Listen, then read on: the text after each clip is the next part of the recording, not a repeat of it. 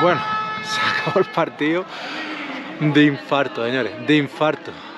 Me va a dar algo. Mira cómo tengo las manos sudando de chorro. Último minuto.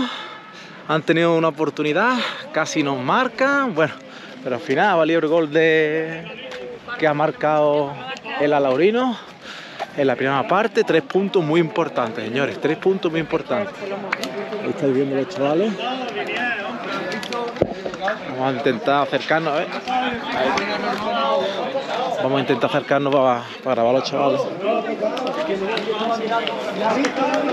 Bueno, no podemos entrar adentro porque nos han encerrado la puerta, pero bueno. A ver si podemos entrar. Hacer una entrevista. Venga, no digas que no, hombre.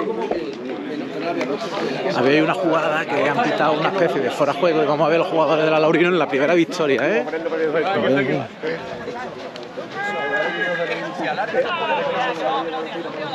A ver.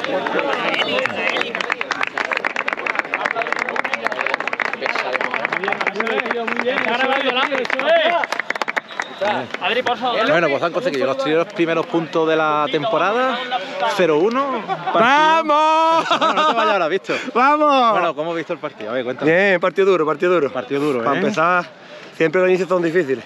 Bastante Pero difícil. se ha trabajado muy bien, colectivamente, la verdad que muy, muy contento. Bueno, tres puntos que saben a gloria. De oro, de Después de, oro. lo que hemos sufrido esto con- también con lo del Kiki, yo creo que esto es un gran homenaje para el Kiki este, esta victoria. Pues ¿no? sí, yo creo que todo un pueblo, yo creo que dedica esta victoria a ellos, porque tanto los jugadores como cuerpo técnico, como directivos, aficionados, seguramente hoy estarán pendientes de este partido, que el arranque es súper difícil y lo hemos hecho como teníamos que hacerlo, que es ganando y tenemos que seguir seguir trabajando y a seguir la línea. Bueno, eh, mm, dame tu valoración del partido en líneas generales, completo. Vamos a ver, que puede ser un partido en el que hemos conseguido marcar a primera hora, pero después hemos tenido un control prácticamente Sí. en todas las facetas del juego, ¿no? Es verdad que ellos acumulaban muchos jugadores atrás, entonces prácticamente tenían el balón, la posición de balón, pero la tenían atrás. Entonces a nosotros tampoco nos ha afectado mucho el estar colocado y basculando porque íbamos ganando y creo que hemos estado muy bien las líneas juntas y creo que hemos hecho un buen partido.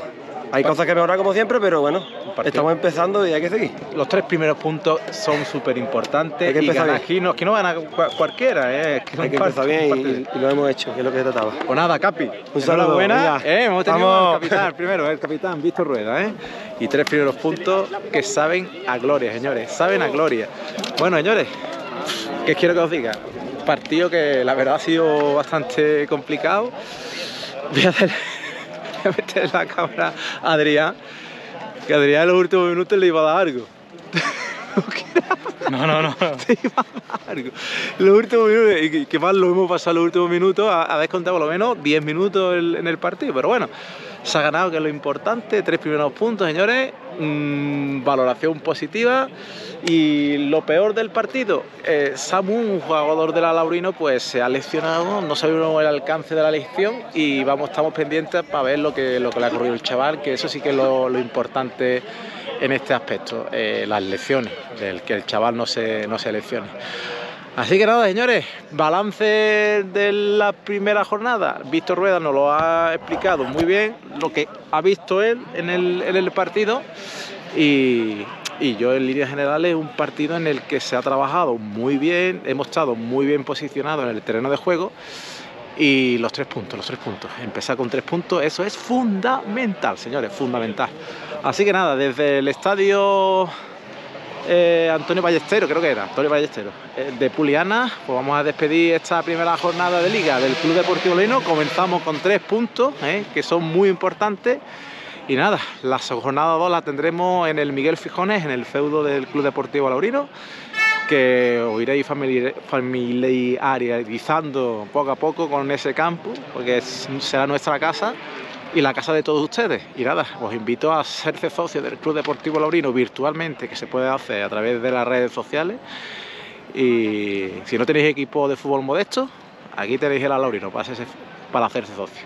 Y nada, señores, os emplazo para la siguiente jornada, jornada 2 contra el Club Deportivo Rincón. Esto es todo, desde aquí, desde el Estadio Antonio Ballesteros, tres puntitos para Huichaca. Un saludo.